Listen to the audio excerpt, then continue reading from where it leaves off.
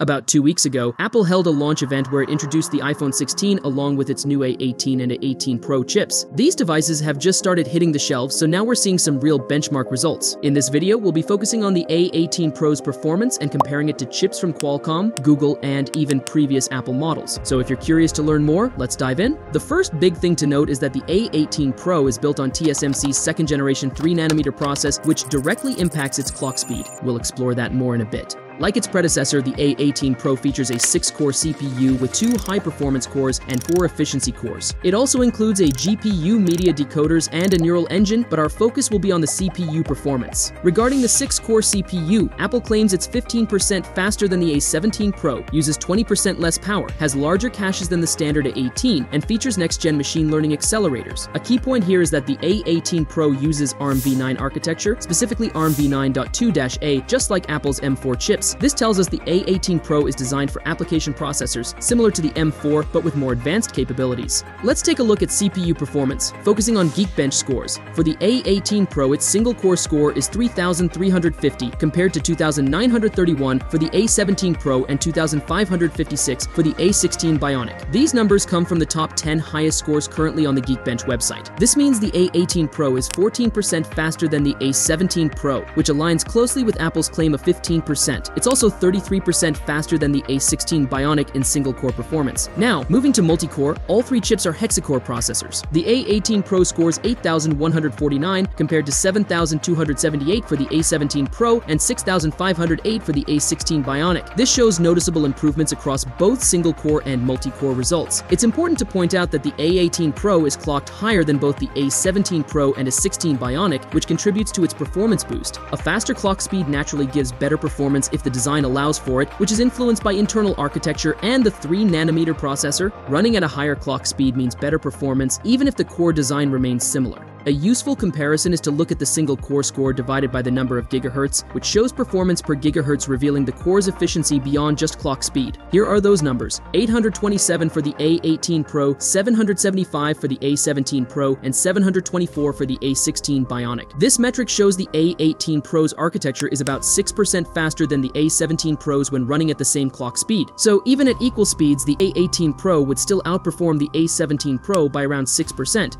Okay, let's take a closer closer look at the competition. The Snapdragon 8 Gen 3, Snapdragon 8 Gen 2, Dimensity 9300, and Tensor G4. There's a significant gap in single-core scores, with 3,350 compared to 2,240. Most of these processors are octa-core, so the multi-core scores are much closer. Notably, the Snapdragon 8 Gen 3 and Dimensity 9300 are similar because they both use ARM Cortex-X4 cores. The Tensor G4 lags slightly because it runs at a lower clock speed, but overall, the Apple chip remains the fastest in both single-core and multi-core scores. Now, if we compare single-core scores per gigahertz, it becomes clearer. The Tensor G4 runs at a lower CPU frequency. For instance, the Snapdragon Snapdragon 8 Gen 3 scores 661, the Dimensity 9300 gets 669, and the Tensor G4 scores 621. The older Snapdragon 8 Gen 2 has a score of 585, but the A18 Pro leads with 827. This shows that the A18 Pro's microarchitecture, the internal design of the CPU remains ahead of the competition. What happens when we compare the A18 Pro with the M series chips, not the A series chips in the iPhone, but the M chips used in iPads and MacBooks? We find that the A18 Pro's single-thread performance score of 3,350 outperforms the M1, which is expected. It also surpasses the M2 as anticipated.